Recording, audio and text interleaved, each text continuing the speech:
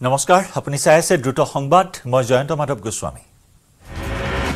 কৰিমগঞ্জত চাঞ্চল্যকৰ ট্ৰিপল মাৰ্ডাৰৰ ঘটনা তিনি কণমানি সন্তানক দাড়ি ঘপিয়াই হত্যা কৰিলে পাষাণ মাতৃয়ে পাষাণ মহিলাৰ আক্ৰমণত গুৰুতৰভাৱে আহত সাত বছৰীয়া ভগ্নীও তিনি সন্তানক হত্যা কৰি আত্মহত্যাৰ চেষ্টা চলালে ঘাতক মাতৃয়েও।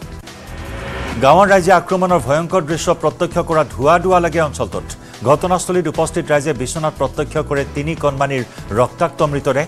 সংকটজনক অৱস্থাত উদ্ধাৰ কৰে সাত বছৰীয়া শৰ্মিন বেগমক। সংকটজনক অৱস্থাত দুয়োকে শিলচৰ মেডিকেল কলেজ হাস্পতালত ভৰ্তি।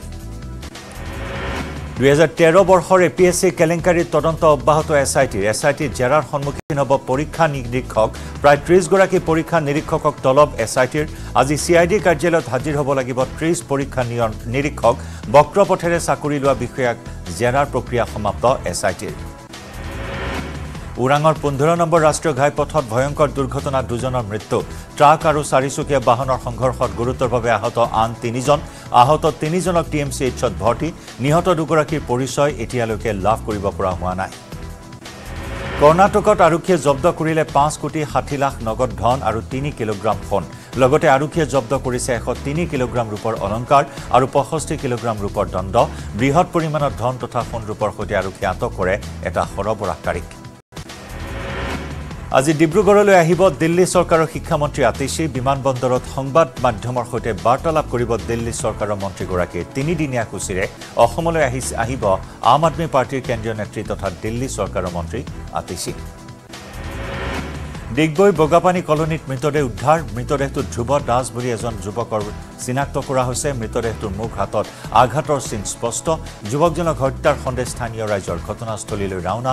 আৰক্ষীৰ দল নিৰ্বাচনৰ কটকটীয়া নিৰাপত্তাৰ মাজতে ৰাজ্যত অব্যাহত আছে চোৰাং গৰু সৰবৰাহ। হাইলাকান্দিত আৰক্ষীৰ অভিযানত জব্দ সোতৰটা বাৰ্মিজ গৰু। লালা বজাৰৰ কালাচৰা এলেকাৰ পৰা জব্দ গৰুকেইটা মিজোৰামৰ পৰা হাইলাকান্দি হৈ বহিৰাজ্যলৈ সৰবৰাহৰ চেষ্টা চলাইছিল জব্দকৃত গৰুকেইটাৰ মূল্য প্ৰায় চল্লিছ লাখ টকা। ৰঙিয়াত আঢ়ৈ কোটি টকা ড্ৰাগছ জব্দ। এখন এল্টো বাহনৰ পৰা জব্দ দহ হাজাৰ ইয়াবা টেবলেট। কোচবিহাৰৰ পৰা ৰঙিয়ালৈ সৰবৰাহ কৰাৰ সময়তে জব্দ নিচাজাতীয় সামগ্ৰীখিনি এল্টো বাহনৰ গোপন চেম্বাৰত লুকুৱাই আনিছিল নিচাজাতীয় সামগ্ৰী তিনি সৰবৰাহকাৰীক আটক এছ টি এফৰ। ধাৰাবাহিক নিৰ্বাচনী প্ৰচাৰত ব্যস্ত মুখ্যমন্ত্ৰী হিমন্ত বিশ্ব শৰ্মা দেওবাৰে ডেৰগাঁৱৰ শীতল পথাৰত বিশাল জনসভাত অংশগ্ৰহণ কৰে মুখ্যমন্ত্ৰী শৰ্মাই। কাজিৰঙা লোকসভা সমষ্টিৰ প্ৰাৰ্থী কামাখ্যা প্ৰসাদ তাছাৰ হৈ নিৰ্বাচনী প্ৰচাৰ চলায় মুখ্যমন্ত্ৰীগৰাকীয়ে বিহুৰ দৰে জগত সভাত জিলিকিব ঝুমুৰ নৃত্য। গুৱাহাটীত ঝুমুৰ নৃত্যৰ বিশ্ব অভিলেখৰ অনুষ্ঠান পতাৰ পণ লৈছে মুখ্যমন্ত্ৰী হিমন্ত বিশ্ব শৰ্মাই। দেওবাৰে ডেৰগাঁৱত অনুষ্ঠিত এক নিৰ্বাচনী সভাত এই কথা ঘোষণা কৰে মুখ্যমন্ত্ৰীগৰাকীয়ে। শীঘ্ৰেই ৰাজ্যত প্ৰৱৰ্তন হ'ব এশ দুই সেৱা ডেৰগাঁৱত স্থাপন হ'ব এশ দুই সেৱাৰ মুখ্য কাৰ্যালয়। চোৰ ডকাইত ধৰিবলৈ এই সেৱা শীঘ্ৰেই সৰ্বসাধাৰণ ৰাইজৰ বাবে মুকলি কৰা হ'ব। এশ দুই ডায়েল কৰিলেই ভুক্তভোগীয়ে তৎক্ষণাত আৰক্ষীৰ সহায় লাভ কৰিব বুলি দেওবাৰে এই কথা ঘোষণা কৰে মুখ্যমন্ত্ৰীয়ে নিৰ্বাচনী জনসভাত লাখপতি বাইদেউসকলৰ সৈতে এসাঁজ ভাত খোৱাৰো প্ৰতিশ্ৰুতি দিলে মুখ্যমন্ত্ৰীয়ে। গোলাঘাটৰ ডেৰগাঁৱৰ শীতল পথাৰত অনুষ্ঠিত দেওবাৰৰ প্ৰথমখন বিশাল নিৰ্বাচনী সভাত অংশগ্ৰহণ কৰি এই কথা ঘোষণা কৰিলে মুখ্যমন্ত্ৰীয়ে হোজাইতো নিৰ্বাচনী প্ৰচাৰ চলাই মুখ্যমন্ত্ৰী ডক্টৰ শৰ্মাই দেওবাৰে হোজাইৰ শংকৰদেৱ নগৰত আয়োজন কৰা সভাস্থলীত নিৰ্বাচনী প্ৰচাৰ চলালে মুখ্যমন্ত্ৰীগৰাকীয়ে। কাজিৰঙা লোকসভা সমষ্টিৰ বিজেপিৰ প্ৰাৰ্থী কামাখ্যা প্ৰসাদ তাছাৰ হৈ প্ৰচাৰ। নুমলীগড়ৰ বিহৰা চাহ বাগিচাৰ কুঁহিয়াৰ বাৰীতো মুখ্যমন্ত্ৰী হিমন্ত বিশ্ব শৰ্মাই জোৰদাৰ ৰূপত চলালে নিৰ্বাচনী প্ৰচাৰ। কৃষিমন্ত্ৰী অতুল বৰাই বোকাখাটৰ পৰা বৃহৎ বাইক ৰেলী কৰি মুখ্যমন্ত্ৰীক সংগ দিয়ে এই নিৰ্বাচনী সভাত।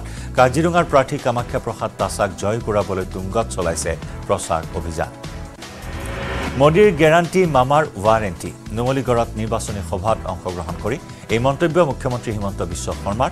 সভাত ৰাইজক বিজেপিৰ প্ৰতি আকৰ্ষিত কৰিবলৈ আকৌ এবাৰ মোদী চৰকাৰ গীতটিত মুখ্যমন্ত্ৰীয়ে নাচি নাচি চলালে নিৰ্বাচনী প্ৰচাৰ। নুমলীগড়ত অনুষ্ঠিত জনসভাত ৰাজ্যত নতুনকৈ পঞ্চাছ হাজাৰ চাকৰি দিয়াৰ আশ্বাস মুখ্যমন্ত্ৰীৰ। নিৰ্বাচনৰ পিছতে চাকৰিৰ সাক্ষাৎকাৰ অনুষ্ঠিত হ'ব বুলিও দেওবাৰে ঘোষণা কৰিলে মুখ্যমন্ত্ৰী ডক্টৰ শৰ্মাই। ৰেচন কাৰ্ড থকা সকলো হিতাধিকাৰীয়ে লাভ কৰিব অৰুণোদয় আঁচনি। ঘৰৰ মুৰব্বীৰ নামত বিনামূলীয়া বীমা কৰাৰো প্ৰতিশ্ৰুতি দিলে মুখ্যমন্ত্ৰী ডক্টৰ শৰ্মাই। লগতে ছোৱালীক পঢ়োৱাৰ দায়িত্ব চৰকাৰে ল'ব বুলি ঘোষণা কৰিলে মুখ্যমন্ত্ৰীগৰাকীয়ে। কংগ্ৰেছক পুৰণি নোটৰে তুলনা মুখ্যমন্ত্ৰী হিমন্ত বিশ্ব শৰ্মাৰ। অসমৰ পৰিৱেশ কংগ্ৰেছে অশান্ত কৰি ৰাখিছিল বুলি কটাক্ষ। দেওবাৰে হোজাই নিৰ্বাচনী প্ৰচাৰ চলাই মুখ্যমন্ত্ৰীৰ ঘোষণা। হোজাই জিলাত হ'ব এখন মেডিকেল কলেজ। এশ সাতাইছ কোটি ব্যয়েৰে নিৰ্মাণ হ'ব যমুনামুখ কামপুৰ পথ দেওবাৰে হোজাই নিৰ্বাচনী সভাত এই কথা ঘোষণা মুখ্যমন্ত্ৰীৰ লগতে বঙালীসকলৰ ডি ভোটাৰ সমস্যা সমাধানৰ আশ্বাস মুখ্যমন্ত্ৰী হিমন্ত বিশ্ব শৰ্মাৰ। তিনিদিনীয়া কাৰ্যসূচীৰে অসমলৈ আহিব আম আদমী পাৰ্টীৰ কেন্দ্ৰীয় নেত্ৰী তথা দিল্লী চৰকাৰৰ মন্ত্ৰী আতিশী ডিব্ৰুগড় আৰু শোণিতপুৰ লোকসভা সমষ্টিৰ প্ৰাৰ্থী মনোজ ধানোৱাৰ আৰু ঋষিৰাজ কণ্ডিনৰ হৈ চলাব নিৰ্বাচনী প্ৰচাৰ। সোমবাৰে পুৱা ডিব্ৰুগড়ত উপস্থিত হ'ব দিল্লী চৰকাৰৰ মন্ত্ৰী আতিশী। সিদিনাই দুলীয়াজানত আপৰ প্ৰাৰ্থী মনোজ ধানোৱাৰৰ প্ৰচাৰৰ বাবে এটা ৰোড শ্ব'ত অংশগ্ৰহণ কৰিব। বিয়লি চাৰি বজাত ডিব্ৰুগড়ত সংবাদ মাধ্যমৰ সৈতে মত বিনিময় কৰিব মন্ত্ৰীগৰাকীয়ে। মঙলবাৰে তিনিচুকীয়াত পুৱাৰ ভাগতে নিৰ্বাচিত দুটামান সংবাদ প্ৰতিষ্ঠানক সাক্ষাৎকাৰ প্ৰদান কৰিব। দুপৰীয়া মাৰ্ঘেৰিটাত বাইক ৰেলী কৰি নিৰ্বাচনী সভাত অংশগ্ৰহণ কৰিব দিল্লী চৰকাৰৰ মন্ত্ৰী আতিশীয়ে ন এপ্ৰিলৰ বিয়লি তিনিচুকীয়াত ৰোড শ্ব'ত অংশগ্ৰহণ কৰিব দিল্লীৰ মন্ত্ৰীগৰাকী দহ এপ্ৰিলত শোণিতপুৰ লোকসভা সমষ্টিত আতিশীৰ কাৰ্যসূচী অনুসৰি পুৱা তেজপুৰত সংবাদ মাধ্যমৰ সৈতে মত বিনিময় কৰিব। বিয়লি তেজপুৰৰ প্ৰাৰ্থী ঋষিৰাজ কন্দিন্যৰ নিৰ্বাচনী প্ৰচাৰৰ বাবে এটা ৰোড শ্ব'ত অংশগ্ৰহণ কৰিব। মহানগৰীত কংগ্ৰেছৰ নিৰ্বাচনী প্ৰচাৰ কংগ্ৰেছৰ প্ৰভাৰী জিতেন্দ্ৰ সিঙৰ উপস্থিতিত গুৱাহাটী লোকসভা সমষ্টিৰ প্ৰাৰ্থী মীৰা বৰঠাকুৰে চলাইছে নিৰ্বাচনী প্ৰচাৰ। ঘৰে ঘৰে গৈ নিৰ্বাচনী প্ৰচাৰ চলাইছে কংগ্ৰেছৰ প্ৰভাৰীগৰাকীয়ে। এ আই চি চিৰ সাধাৰণ সম্পাদক জিতেন্দ্ৰ সিঙে পঞ্চন ন্যায় কংগ্ৰেছ গেৰাণ্টি কাৰ্ড ঘৰে ঘৰে বিতৰণ কৰে কাৰ্যসূচীৰ শুভাৰম্ভণি কৰে। পাঞ্জাৱাৰীত গুৱাহাটী সমষ্টিৰ কংগ্ৰেছৰ প্ৰাৰ্থী মীৰা বৰঠাকুৰৰ নিৰ্বাচনী কাৰ্যালয়ৰ লগতে মুকলি কৰে পঞ্চন ন্যায় গেৰাণ্টি কাৰ্ড। উজনিত মুখ্যমন্ত্ৰীৰ ধাৰাবাহিক নিৰ্বাচনী প্ৰচাৰ সোণাৰীত মুখ্যমন্ত্ৰী নিৰ্বাচনী জনসভা শিৱসাগৰৰ দলীয় কৰ্মীৰেও মত বিনিময় কৰিব মুখ্যমন্ত্ৰীয়ে নিৰ্বাচনী জনসভাত আমোদ দিছে মুখ্যমন্ত্ৰীৰ নৃত্যই। কলিয়াবৰত ঘৰে ঘৰে গৈ পোষ্টেল বেলটৰ জৰিয়তে ভোটগ্ৰহণ প্ৰক্ৰিয়া আৰম্ভ। কলিয়াবৰ জিলা নিৰ্বাচনী বিষয়াৰ নেতৃত্বত বিষয়া কৰ্মচাৰীসকলে ঘৰে ঘৰে গৈ ভোটগ্ৰহণ কৰিছে। পোন্ধৰ বছৰীয়া বৃদ্ধাৰ পৰা পুনৰ জনাইছো বৃদ্ধাৰ পৰা বিশেষভাৱে সক্ষম লোকসকলক পোষ্টেল বেলটৰ জৰিয়তে সাব্যস্ত কৰাইছে ভোটাধিকাৰ। কলিয়াবৰ বিধানসভা সমষ্টিক আঠটা জোনত দিয়া ভাগ কৰি কলিয়াবৰৰ নিৰ্বাচনী জিলাত দুশ চৌসত্তৰখন আবেদনৰ ভিত্তিত ঘৰে ঘৰে গৈ ভোটগ্ৰহণ কৰিছে। পঁচাশীৰ ঊৰ্ধৰ ব্যক্তি আৰু বিশেষভাৱে সক্ষম লোকসকলে ঘৰতে পোষ্টেল বেলটৰ জৰিয়তে ভোটাধিকাৰ সাব্যস্ত কৰাৰ লগতে নিৰ্বাচন আয়োগক ধন্যবাদ জনায়। মৰিয়নী সমষ্টিৰ পূব প্ৰান্তৰ একেবাৰে শেষৰখন জেলেঙি টোপ পানী গাঁওবাসীয়ে শাসকীয় বিজেপিৰ পক্ষত ভোট দিয়াৰ সিদ্ধান্ত লৈছে। কাৰণ শাসকীয় বিজেপিয়ে বৰ্তমানৰ বিধায়ক ৰূপজ্যোতি কুৰ্মীয়ে দুখৰ সময়ত ৰাইজৰ কাষত উপস্থিত হয় বুলিও মন্তব্য কৰে ৰাইজে। নদুৱাৰ বিধানসভা সমষ্টিৰ ৰঙাচুকুৱা ধলাইবিল নাগশংকৰ কৰয়নী আৰু বালিপৰাত নিৰ্বাচনী কাৰ্যালয় শুভ উদ্বোধন কৰে বিধায়ক পদ্ম হাজৰিকাই। ইপিনে যুৱ ছাত্ৰ পৰিষদৰ জামুগুৰি আঞ্চলিক সভাপতি বৰাৰ লগতে বিভিন্ন ৰাজনৈতিক দলৰ শতাধিক নেতাকৰ্মীয়ে যোগদান কৰে। বিজেপিত। শোণিতপুৰত আপ প্ৰাৰ্থী ঋষিৰাজ কণ্ডিন্যই ব্যাপক ৰূপত চলাইছে নিৰ্বাচনী প্ৰচাৰ। বৰচলা বিধানসভা সমষ্টিৰ মিছামাৰীত আপৰ নিৰ্বাচনী কাৰ্যালয় মুকলি কাৰ্যসূচীত অংশগ্ৰহণ কৰি এখন নিৰ্বাচনী সভাতো নিৰ্বাচনী প্ৰচাৰ চলালে আপ প্ৰাৰ্থীগৰাকীয়ে আনহাতে বিজেপি প্ৰাৰ্থী ৰঞ্জিত দত্তই শোণিতপুৰত বিৰোধী কোনো ফেক্টৰ নহয় বুলি কোৱা মন্তব্যত আপৰ প্ৰাৰ্থী কণ্ডিন্যৰ প্ৰতিক্ৰিয়া প্ৰকাশ। বিজেপিৰ প্ৰতিদ্বন্দ্বিতা কমিছন ৰাজত আৰু মিছা কথা কোৱাত বুলি কয় আপ প্ৰাৰ্থীগৰাকীয়ে। লগতে এই চৰকাৰখন বাকীত আৰু ফাঁকিত চলা বুলিও কটাক্ষ কৰে। দেওবাৰে চন্দ্ৰপুৰ ব্লক কংগ্ৰেছৰ উদ্যোগত চন্দ্ৰপুৰত নিৰ্বাচনী প্ৰচাৰ চলালে গুৱাহাটী লোকসভা সমষ্টিৰ কংগ্ৰেছৰ প্ৰাৰ্থী মীৰা বৰঠাকুৰে পাঁচটা গেৰাণ্টি লৈ ভোটাৰক কাষ চাপিল কংগ্ৰেছ প্ৰাৰ্থীগৰাকী। দৰং ওদালগুৰি লোকসভা সমষ্টিত চূড়ান্ত পৰ্যায়ত উঠিছে বিজেপিৰ নিৰ্বাচনী প্ৰচাৰ। নৱগঠিত টংলা বিধানসভা সমষ্টিত দেওবাৰে দুটা স্থানত নিৰ্বাচনী প্ৰচাৰ কাৰ্যালয় মুকলি কৰে সমষ্টিৰ প্ৰাৰ্থী দিলীপ শইকীয়াই। ঝুমুৰ নাছিলে কেন্দ্ৰীয় মন্ত্ৰী সৰ্বানন্দ সোণোৱালে। দেওবাৰে লুৰিণজ্যোতি গগৈ গৃহগাঁৱৰ তিনিচুকীয়াৰ লাইপুলি মৰাণকাৰী গাঁৱত নিৰ্বাচনী প্ৰচাৰ চলালে ডিব্ৰুগড়ৰ বিজেপি প্ৰাৰ্থী সৰ্বানন্দ সোণোৱালে। মৰাণৰ তিলৈত বিৰোধী ঐক্যমঞ্চৰ ডিব্ৰুগড়ৰ প্ৰাৰ্থী লুৰিণজ্যোতি গগৈ নিৰ্বাচনী সভা। এই সভাতে অসম কংগ্ৰেছৰ তত্বাৱধায়ক জিতেন্দ্ৰ সিং সভাপতি ভূপেন বৰাৰ উপস্থিতিত আনুষ্ঠানিকভাৱে বিৰোধী ঐক্যমঞ্চত যোগদান সোণোৱাল কছাৰী গণমঞ্চৰ। ধুবুৰীৰ আলমগঞ্জত ৰকিবুল হুছেইনৰ বিশাল জনসভা। ধুবুৰী জিলা কংগ্ৰেছ কমিটিৰ উদ্যোগত আৰু দেৱীতোলা ব্লক কংগ্ৰেছ কমিটিৰ সহযোগত এই বিশাল নিৰ্বাচনী জনসভা। নিৰ্বাচনী প্ৰচাৰত ৰকিবুল হুছেইনক সংগ দিয়ে গোলোকগঞ্জৰ বিধায়ক আব্দুল চোৱাহান আলী চৰকাৰে। লখিমপুৰ লোকসভাৰ বিজেপিৰ মিত্ৰজোঁটৰ প্ৰাৰ্থী প্ৰদান বৰুৱাই নিতৌ চাৰি পাঁচখনকৈ জনসভাত অংশগ্ৰহণ কৰি চলাই গৈছে নিৰ্বাচনী প্ৰচাৰ। দেওবাৰৰ দিনটোত প্ৰাৰ্থীগৰাকীয়ে পাঁচখনকৈ প্ৰচাৰ সভাত অংশগ্ৰহণ কৰি চলালে প্ৰচাৰ অভিযান। বাক্সাত বি পি এফ দলৰ প্ৰাৰ্থী খাম্ফা বৰগোহাঁৰীৰ নিৰ্বাচনী প্ৰচাৰ লোকসভা সমষ্টিটোৰ অন্তৰ্গত। বাক্সা বিধানসভা সমষ্টিটোত বি পি এফ দলৰ প্ৰাৰ্থীগৰাকীয়ে নিৰ্বাচনী প্ৰচাৰ চলাই নাঙলৰ ছবিত ভোট দিবলৈ আহ্বান জনায় ভোটাৰ ৰাইজক। ইউ পি পি এল দলক তীব্ৰ ভাষাৰে সমালোচনা বি পি এফ দলৰ প্ৰাৰ্থী খাম্ফা বৰগোহাঁৰীৰ ইউ পি পি এলে পাৰিষদক কিডনেপ কৰি বি টি চি চৰকাৰ গঠন কৰাৰ অভিযোগ উত্থাপন কৰে বি পি এফ দলৰ প্ৰাৰ্থীগৰাকীয়ে গহপুৰৰ বাগিচাই বাগিচাই শোণিতপুৰ লোকসভা সমষ্টিৰ কংগ্ৰেছ প্ৰাৰ্থী প্ৰেমলাল গঞ্জুৰ হৈ ভোট বিচাৰিলে প্ৰাক্তন মন্ত্ৰী এটুৱা মুণ্ডাই গহপুৰৰ ব্ৰহ্মজান বুৰৈ আদি বাগিচা নিৰ্বাচনী সভাত অংশ লৈ মুণ্ডাই কংগ্ৰেছ প্ৰাৰ্থীগৰাকীৰ হৈ চলালে নিৰ্বাচনী প্ৰচাৰ। ডিব্ৰুগড়ৰ লক্ষ্মীনগৰত বিজেপি প্ৰাৰ্থী সৰ্বানন্দ সোণোৱালক গৃহৰ সমীপৰ বিজেপিৰ অস্থায়ী কাৰ্যালয়ত বিজেপিত যোগদান কাৰ্যসূচী। মটক স্বায়ত্তশাসিত পৰিষদৰ বিষয়ববীয়াসহ ভালেসংখ্যক লোকে যোগদান কৰে বিজেপিত। এন ডি এৰ সমৰ্থিত প্ৰাৰ্থী জয়ন্ত বসুমতাৰীৰ হৈ বি টি চিৰ ই এম উইলছন হাজদাৰ নিৰ্বাচনী প্ৰচাৰ গুমা সমষ্টিৰ কুৰ্চাকাটি আৰু মুছলঝোৰা প্ৰাইমাৰী দলীয় সভাত নিৰ্বাচনী প্ৰচাৰ চলাই বি টি চিৰ ই এমগৰাকীয়ে এই সভাত ইউ পি পি এল দলত যোগদান কৰে শতাধিক লোকে। শিৱসাগৰৰ ডিমৌ বিধানসভা সমষ্টিত নিৰ্বাচনী প্ৰচাৰ কংগ্ৰেছ প্ৰাৰ্থী গৌৰৱ গগৈ ডিমৌৰ ৰজাবাৰী বাগিচাত প্ৰচাৰ চলালে গৌৰৱ গগৈয়ে। প্ৰচাৰ চলাই গৌৰৱ গগৈয়ে মনোনয়ন পত্ৰ দাখিল কৰাৰ দিনাই জয়ী হোৱা বুলি মন্তব্য কৰে। বিৰোধী ঐক্য মঞ্চ অসমক অধিক শক্তিশালী কৰি দেওবাৰে এই মঞ্চৰ অংশীদাৰ হয় সোণোৱাল কছাৰী গণমঞ্চ।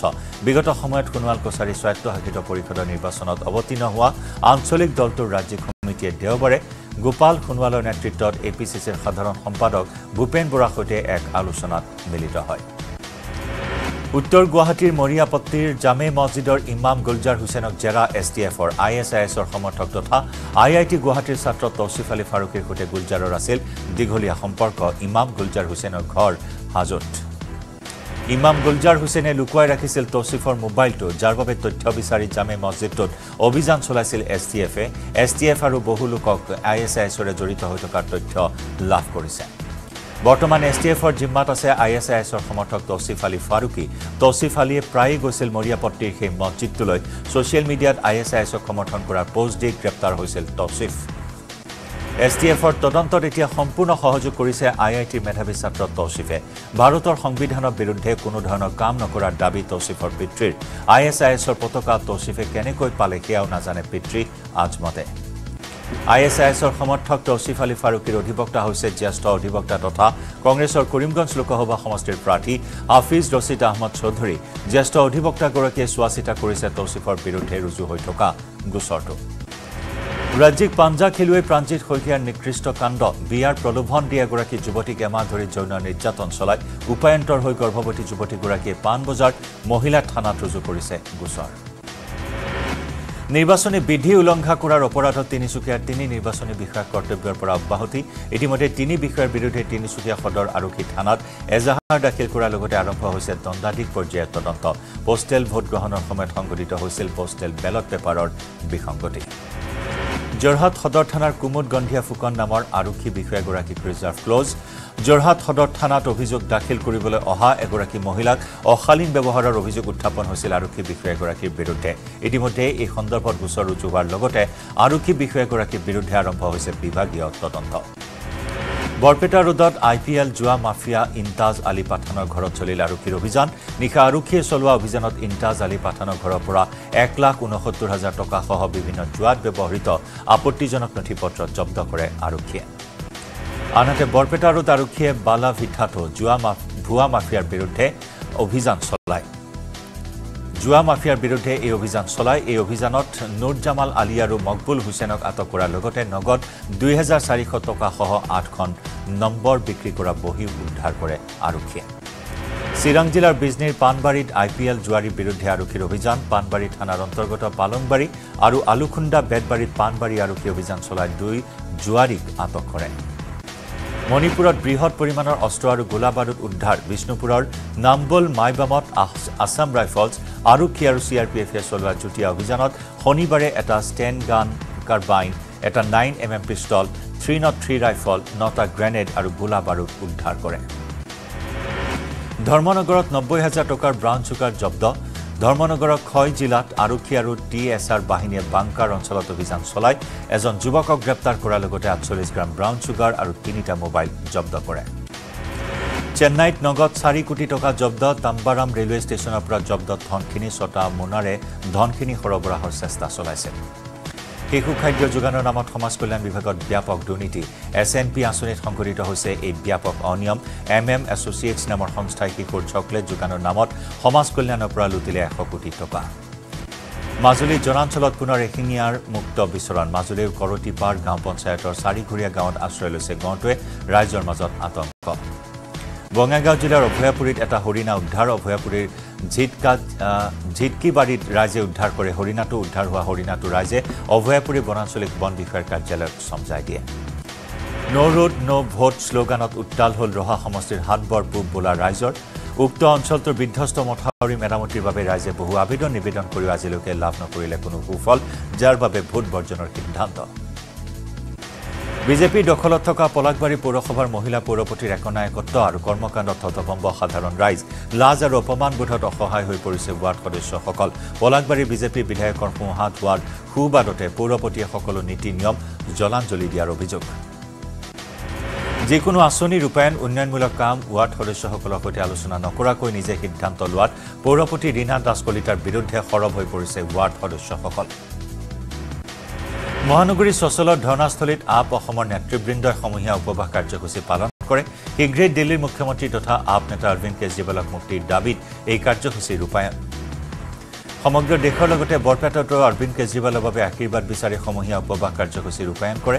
বৰপেটা জিলা আয়ুক্তৰ কাৰ্যালয়ৰ সমীপত আম আদমী পাৰ্টী বৰপেটা জিলাৰ দলীয় কৰ্মীসকলে সমূহীয়া উপবাস পালন কৰে। সাত এপ্ৰিলৰ দিনটোত নিষিদ্ধ ঘোষিত সংগঠন আলফা স্বাধীনৰ প্ৰতিষ্ঠা দিৱস উদযাপন। দেওবাৰে প্ৰতিষ্ঠা দিৱস উপলক্ষে পৰেশ বৰুৱাই দিলে ভাষণ সংবাদ মাধ্যমলৈ প্ৰেৰণ কৰিলে পৰেশ বৰুৱাৰ ভাষণ। নিষিদ্ধ ঘোষিত সংগঠন আলফা স্বাধীনৰ প্ৰতিষ্ঠা দিৱস পালন দেওবাৰে ঘগ্ৰা চক আৰু কালাকুছিৰ এখন বিদ্যালয়ৰ সন্মুখত উৰিল আলফা স্বাধীনৰ পতাকা। পাছত তামোলপুৰ আৰক্ষী উপস্থিত হৈ জব্দ কৰে আলফাৰ পতাকা। আলফাৰ পতাকা উত্তোলনক লৈ আৰক্ষীৰ অনুসন্ধান অব্যাহত। উত্তৰ গুৱাহাটীৰ সাতাইছ নম্বৰ ৰাষ্ট্ৰীয় ঘাইপথৰ দাঁতিত বহি থকা ভিক্ষাৰীৰ ওপৰেৰে চলিল গধুৰ বাহন। ভিক্ষাৰীজনক মহতিয়াই ঘটনাস্থলীৰ পৰা বাহনসহ পলাল চালক। ঘটনাস্থলীৰ পৰা আৰক্ষীয়ে মৃতদেহ উদ্ধাৰ কৰি মনোনীতৰ পৰীক্ষাৰ বাবে প্ৰেৰণ কৰে। গুৱাহাটী উত্তৰ গুৱাহাটী ফেৰী চলাচলত অঘটন। প্ৰবল বতাহে বিস্তৰ ক্ষতি কৰে গুৱাহাটীৰ প্ৰতিটো ফেৰীঘাট ফেৰীৰ জেঠি ভাঙি পৰাত ব্যাহত হৈ পৰে জাহাজ সেৱা। বতাহৰ বাবে দেওবাৰে দিনৰ এক বজাৰ পৰা ঘাটত লগাব পৰা নাছিল ফেৰী জাহাজ ঘাটত। যাত্ৰীৰ মাজত হাহাকাৰ অৱস্থা। হাজোৰ বিজুলীঘাট মথাউৰি চকত ভয়ংকৰ পথ দুৰ্ঘটনা। গুৱাহাটী দিশৰ পৰা নলবাৰী অভিমুখে গৈ থকা এখন দ্ৰুতবেগী বলেৰো বাহনৰ কুণ্ডাত নিহত এজন পথচাৰী। নিহত পথচাৰী হাবলাখা গাঁৱৰ চৰবেজ আলী। দুৰ্ঘটনা সংঘটিত কৰি পলায়ন কৰা বাহনখন জব্দ কৰে ৰাইজে। গোৱালপাৰাৰ কল্যাণপুৰত ভয়াৱহ পথ দুৰ্ঘটনা এই দুৰ্ঘটনাত এখন যাত্ৰীবাহী বাছে পিছফালৰ পৰা খুন্দিয়ালে ডাম্পাৰক। এই দুৰ্ঘটনাত চিকিৎসালয়ত মৃত্যু হেণ্ডিমেন মিথুন দাসৰ সংকটজনক অৱস্থাত গুৱাহাটীলৈ প্ৰেৰণ চালক ডিম্বেশ্বৰ ৰায়ক। শিৱসাগৰত মৃত ছাগলী ভক্ষণ কৰি শগুনৰ মৃত্যু। বলিঘাটৰ বলিয়াঘাটৰ বাঘৰ চুকত উদ্ধাৰ ত্ৰিছটা মৃত শগুন। গুৰুতৰভাৱে অসুস্থ তিনিটা শগুনক উদ্ধাৰ। ঘটনাস্থলীত বন বিভাগৰ দল উপস্থিত হৈ আৰম্ভ কৰিছে তদন্ত। আমিনগাঁৱৰ সাতাইছ নম্বৰ ৰাষ্ট্ৰীয় ঘাইপথত আৱৰ্জনাৰ কদৰ্যময় ৰূপ। পথৰ দাঁতিটো বাদেই পথৰ মাজতো গাড়ীৰে পেলনীয়া আৱৰ্জনা থৈ যায়। পথত পেলোৱা আৱৰ্জনাৰ বাবে বহু সময়ত যাতায়াত স্থবিৰ হৈ পৰে। খোদ কামৰূপ আয়ুক্তৰ কাৰ্যালয়ৰ চৌহদতো আৱৰ্জনা পেলাই অস্বাস্থ্যকৰ পৰিৱেশৰ সৃষ্টি কৰিছে একাংশই। তামোলপুৰৰ কুমাৰীকাটা সংগীত বিদ্যালয়ৰ ৰূপালী জয়ন্তী বৰ্ষ উদযাপন। দেওবাৰৰ পৰা দুদিনীয়া বৰ্ণাঢ্য কাৰ্যসূচীৰে আৰম্ভ হয় কুমাৰীকাটা সংগীত বিদ্যালয়ৰ ৰূপালী জয়ন্তী বৰ্ষৰ সমাৰোহ। জাগিৰোড মহাবিদ্যালয়ৰ তৃতীয় ষান্মাসিকৰ ছাত্ৰী জোনালী পাটৰ দুৰাৰোগ্য ৰোগত আক্ৰান্ত। দুটা কিডনী বিকল হৈ সম্প্ৰতি ছাত্ৰীগৰাকী মৰিগাঁৱৰ চুলতান হাস্পতালত চিকিৎসাধীন হৈ আছে। আৰ্থিকভাৱে দুৰ্বল পৰিয়ালটোৱে ছাত্ৰীগৰাকীৰ সুচিকিৎসা কৰিবলৈ বিচাৰিছে সহায়ৰ হাত। গুৱাহাটীত ধ্ৰুৱজ্যোতি দাসে সূক্ষ্ম কলা অনুষদৰ অধীনত বাদ্যযন্ত্ৰ বাঁহী বিষয়ত পি এইচ ডি ডিগ্ৰী লাভ কৰে। সমগ্ৰ উত্তৰ পূৰ্বাঞ্চলৰ পৰা বাঁহীত পি এইচ ডি লাভ কৰা প্ৰথমজন ব্যক্তি ধ্ৰুৱজ্যোতি দাস। অসমীয়াৰ বাপতি সাহন ৰঙালী বিহুলৈ মাজত মাত্ৰ কেইটামান দিন বোকাখাটৰ মা বাদ্য ভাণ্ডাৰৰ শিল্পীসকলে দিনে নিশাই ব্যস্ত হৈছে ঢোল নিৰ্মাণত। এইবাৰ প্ৰায় সৰু ডাঙৰ দুশ পঞ্চাছৰ পৰা তিনিশমান ঢোল বিক্ৰীৰ বাবে নিৰ্মাণ কৰি উলিয়াইছে শিল্পীসকলে। বিহুৰ প্ৰাক্ষণত চৰ্চিত হৈছে নলবাৰীৰ এটা ছোৱালী বিহু হুঁচৰি দল। দলটোত ঢুলীয়া নাচনী সকলো ছোৱালী। যুৱতীৰ পৰা পৰিচালিত দলটোত সকলো কোনোৱে ঢোল বজাইছে কোনোৱে একো অন্যান্য বাদ্য বজাই এতিয়া অনুশীলনত ব্যস্ত হৈছে দলটোত আছে সোতৰগৰাকী যুৱতী। পদূলিমুখ পালেহি অসমীয়াৰ হেঁপাহৰ ৰঙালী বিহু এইবেলি ওদালগুৰিৰ ভূঞাখাট ৰঙালী বিহু উদযাপন সমিতিৰ উদ্যোগত বিহু নাচ আৰু ঢোলবাদনৰ প্ৰশিক্ষণ আৰম্ভ কৰা হয়। প্ৰায় দুশগৰাকী কণ কণ মইনাক বিহু নাচৰ প্ৰশিক্ষণ দিয়ে মিথুন পদুচাই ৰঙালী বিহুলৈ আৰু মাত্ৰ কেইটামান দিন সেইবাবে ঢোল পেঁপা গগনা বাঁহী আদি লোকবাদ্য নিৰ্মাণত ব্যস্ত শিৱসাগৰৰ প্ৰবীণ লোকশিল্পী দ্বিজেন গগৈ। লোকশিল্পীগৰাকীয়ে ৰঙালী বিহুত প্ৰয়োজন হোৱা সকলো লোকবাদ্য নিজেই নিৰ্মাণ কৰি বিভিন্ন প্ৰান্তৰ বিহুৱা নাচনী তথা হুঁচৰি দলসমূহলৈ যোগান ধৰে। কামৰূপ জিলাৰ বংশৰত ৰঙালী বিহুৰ উন্মাদনা। পূব বংশৰ সমন্বয় যুৱ ঐক্য মঞ্চৰ উদ্যোগত বংশৰ মিনি ষ্টেডিয়ামত অনুষ্ঠিত শতাধিক প্ৰশিক্ষাৰ্থীয়ে লৈছে বিহু নাচৰ প্ৰশিক্ষণ। ছয় এপ্ৰিলৰ পৰা সাতদিনীয়াকৈ অনুষ্ঠিত কৰা হৈছে এই বিহু নাচ কৰ্মশালা।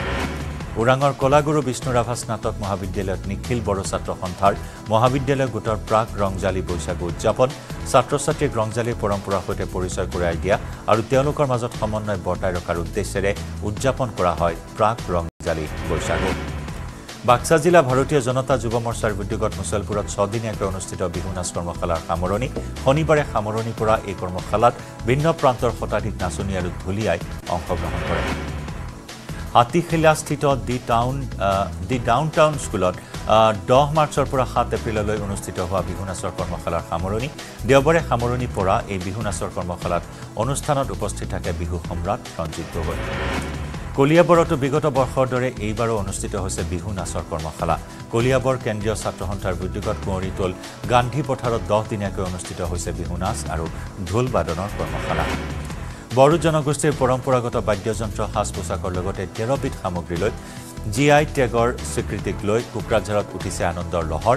ইয়াৰে অংশ হিচাপে এপছৰ উদ্যোগত কোকৰাঝাৰ চৰকাৰী উচ্চতৰ মাধ্যমিক আৰু বহুমুখী বিদ্যালয় খেলপথাৰত চৰকাৰলৈ এক ধন্যবাদ জ্ঞাপন কাৰ্যসূচীৰ আয়োজন কৰা হয়। আই আই টি গুৱাহাটীৰ টীম টেকনিছৰ বাৰ্ষিক মাৰাথন। দেওবাৰে পুৱা ছয় কিলোমিটাৰ আৰু একৈছ কিলোমিটাৰ শিতানত সৰুসজাই ষ্টেডিয়ামৰ পৰা আৰম্ভ হৈছিল এই মাৰাথন। গুৱাহাটী মহানগৰীক পৰিষ্কাৰ পৰিচ্ছন্ন কৰি ৰখা সুস্বাস্থ্য আৰু পৰিষ্কাৰ বায়ুমণ্ডল গঢ়াৰ বাৰ্তাৰে আই আই টি গুৱাহাটীৰ শিক্ষাৰ্থীয়ে আয়োজন কৰে এই অনুষ্ঠান। অপ্ৰতিৰোধ ৰাজস্থান ৰয়েলছ অথলে গ'ল কিং কোহলিৰ শতক। আৰ চি বিৰ দৰ্প চূৰ্ণ কৰি ক্ৰমাগত চতুৰ্থটো জয়েৰে পইণ্ট তালিকাৰ শীৰ্ষত আৰ আৰ জছ বাটলাৰৰ শতকৰ সহায়ত ৰয়েল চেলেঞ্জাৰ্ছ বাংগালুৰুৰ বিৰুদ্ধে ছয় উইকেটত জয়লাভ। বিৰাট কোহলিৰ শতকে উদ্ধাৰ কৰিব নোৱাৰিলে royal challengers বেংগালুৰুক। Slowest century in history of I P L বুলি বিৰাট কোহলীক সমালোচনা পাকিস্তানী ক্ৰিকেটাৰ জুনেইদ খানৰ।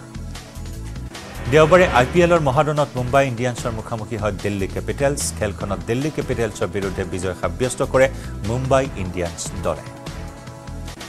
দেশত বলিছে লোকসভা নিৰ্বাচনৰ গৰম বতাহ তুংগত উঠিছে গেৰুৱা বাহিনী নিৰ্বাচনী প্ৰচাৰ। দেওবাৰে পশ্চিমবংগৰ জলপাইগুৰিত প্ৰধানমন্ত্ৰী নৰেন্দ্ৰ মোদীয়ে বিজেপি প্ৰাৰ্থীৰ হৈ নিৰ্বাচনী প্ৰচাৰ চলায়। দেশব্যাপী সক্ৰিয় হৈ আছে সুবিধা শীৰ্ষক পৰ্টেল। দেশৰ নিৰ্বাচন আয়োগে মুকলি কৰিছে এই পৰ্টেল। ৰাজনৈতিক দল তথা প্ৰাৰ্থীৰ সুবিধাৰ বাবে সুবিধা পৰ্টেল। বিগত বিছ দিনত সমগ্ৰ দেশত তেসত্তৰ হাজাৰ তিনিশ ঊনাশীখন আবেদন দাখিল পৰ্টেলত ইয়াৰে চৌৰাল্লিছ হাজাৰ ছশ ছাব্বিছখন আবেদনত অনুমোদন নিৰ্বাচন আয়োগৰ। সুবিধা শীৰ্ষক পৰ্টেলত সমগ্ৰ দেশত নাকচ কৰা হৈছে এঘাৰ হাজাৰ দুশখন আবেদন লগতে বাতিল কৰা হৈছে দহ হাজাৰ আঠশ ওঠৰখন আবেদন তেইছ হাজাৰ দুশ ঊনচল্লিছখন আবেদন দাখিলেৰে দেশৰ ভিতৰতে শীৰ্ষত তামিলনাডু। সুবিধা শীৰ্ষক পৰ্টেলত মুঠ দুই হাজাৰ ছশ নখন আবেদন অসমৰ বিভিন্ন দল তথা প্ৰাৰ্থীৰ। সৰ্বনিম্ন সোতৰখন আবেদন দাখিল চণ্ডীগড়ৰ বিভিন্ন দল তথা প্ৰাৰ্থীৰ। নিৰ্বাচন আয়োগে বিবৃতিযোগে জনালে এই তথ্য। আপৰ সমূহীয়া উপবাস অনশন কাৰ্যসূচী দেওবাৰে পুৱা এঘাৰ বজাৰ পৰা সন্ধিয়া পাঁচ বজালৈ অনুষ্ঠিত হয়। আপৰ প্ৰতিবাদী কাৰ্যসূচী প্ৰতিবাদী কাৰ্যসূচীত অংশগ্ৰহণ কৰে। আপৰ মন্ত্ৰী বিধায়ক সাংসদে উপবাসে থাকি কেজৰিৱালক আশীৰ্বাদ দিলে। আপৰ কৰ্মী সমৰ্থকে। গুজৰাটত ৰাজপুতসকলৰ উত্তাল প্ৰতিবাদ। ৰাজপুত আৰু ৰাজকুমাৰ পৰিয়ালক লৈ কেন্দ্ৰীয় মন্ত্ৰী পুৰুষোত্তম ৰূপালালে অশোভনীয় মন্তব্য কৰাৰ বিৰুদ্ধে সাব্যস্ত কৰে প্ৰতিবাদ। কেন্দ্ৰীয় মন্ত্ৰী তথা গুজৰাটৰ ৰাজকোট সমষ্টিৰ প্ৰাৰ্থী পুৰুষোত্তম ৰূপালাৰ প্ৰাৰ্থিত্ব প্ৰত্যাহাৰৰ দাবী প্ৰতিবাদকাৰীসকলৰ সোমবাৰে বছৰৰ প্ৰথমটো সূৰ্যগ্ৰহণ। নিশা ন বাজি বাৰ মিনিটত আৰম্ভ হ'ব সূৰ্যগ্ৰহণ আৰু অন্ত পৰিব নিশা দুই বাজি বাইছ মিনিটত।